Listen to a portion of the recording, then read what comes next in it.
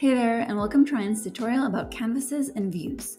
In this tutorial, we will learn how to create and export detailed architectural drawing sets and presentations. Let's get started. When creating a new model in Rayon, you will arrive on a model canvas.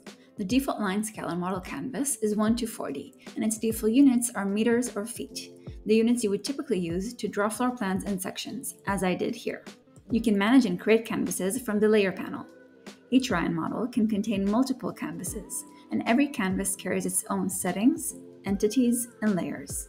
Alongside model canvases, Rayon offers paper canvases. Unlike the model canvas where I draw my structure, a paper canvas is where I create my presentation and drawing layouts, with views of my structure in various scales. The paper canvas default units are centimeters or inches, and their line scale is 1 to 1. In this paper model, I created an A3 and an A4 sheet at a 1 to 1 scale, with views of my model canvas at 1 to 50 and 1 to 25 scales. This allows me to see the line width of my drawings as they will appear when exporting or printing them. Now that we've established the difference between a model canvas meant for drawing structures and a paper canvas meant for organizing drawing documents, let's dive into views. A view is a window onto a canvas. From the layer panel, click on the plus button and choose a source canvas that you want to place on your current canvas.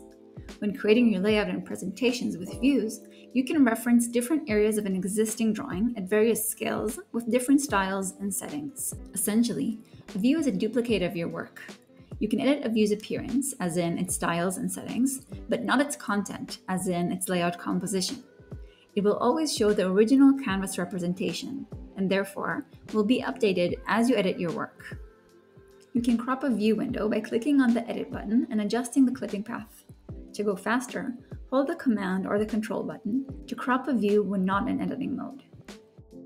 You can set the view's origin and scale from the Property panel or from the View window. Note that panning and zooming while hovering on a view window will apply in the view area, rather on the canvas area.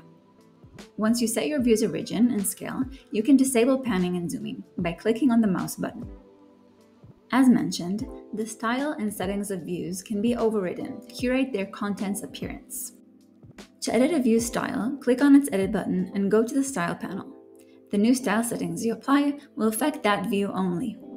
At any point, the style overrides can be reset to match the original view appearance by clicking on the purple arrow. Let's edit the style again.